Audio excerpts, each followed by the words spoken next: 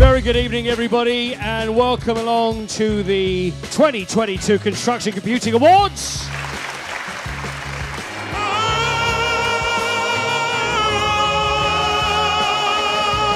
The Structural Engineering Software of the Year. And the winner we've got this year is Tekla for Tekla Structural Design.